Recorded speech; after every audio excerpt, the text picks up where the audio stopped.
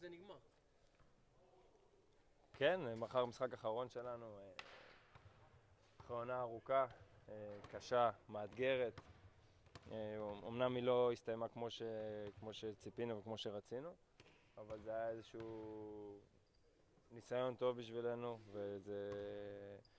וזאת ליגה ש... שתימשך עוד הרבה שנים, ו... ולמדנו כמה קשה היא, ונלמד לעתיד.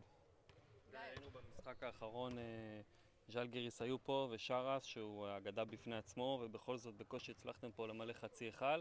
יש מסר לאוהדים, משחק פרידה, למרות שהעונה הייתה כזאת טובה, בכל זאת תנסו ככה לדחוף, כי יש עוד מה לשחק העונה. זה שיש על מה לשחק זה נכון, ויש לנו אליפות על הפרק. נגד ג'לגריס באמת זה לא היה אה, נעים לבוא לפה ולשחק אה, משחק יורוליג אה, מול לא יודע כמה, אבל אנחנו רגילים שהאולם הזה מלא.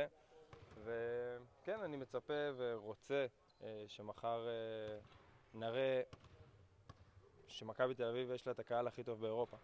ולא משנה אם יש על מה לשחק או אין על מה לשחק, בסופו של דבר אנחנו מועדון, ואנחנו רוצים להראות שאנחנו אחד המועדונים הטובים באירופה. ובא לי שמחר יהיה אווירת יורוליג אמיתית. אני יודע שזה קשה, שאין על מה לשחק.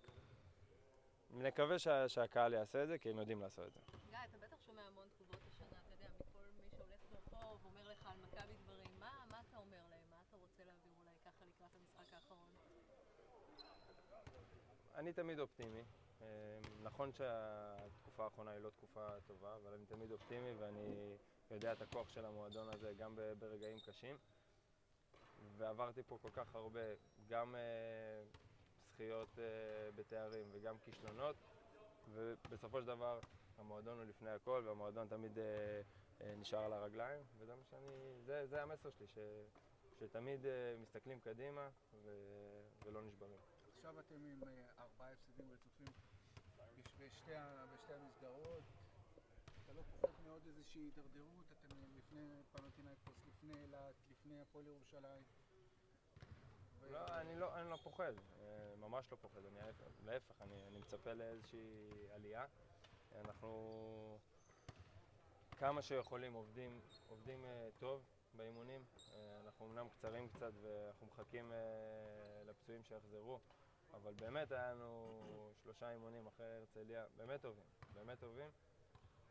ואני רוצה שנתרגם את זה למגרש. אני לא מפוחד משום כישלון, להפך. כן, אולי בראייה קצת יותר רחבה, מה דעתך קורה השנה? באמת לקבוצות גדולות, אנחנו רואים, אגב, גם במקומות אחרים, בליגות אחרות, ואצלנו זה מכבי תל אביב והפועל ירושלים. ירושלים עם 12 הפסדים, מקום שישי. אתם גם, אתה יודע, עם הפסדים לגליל, לגלבוע ולהרצליה עכשיו, וגם המקום הראשון בסכנה. הפערים מצטמצמים עם הקטנות, איך אתה רואה את זה? הכל נכון, אני לא יודע אם ה...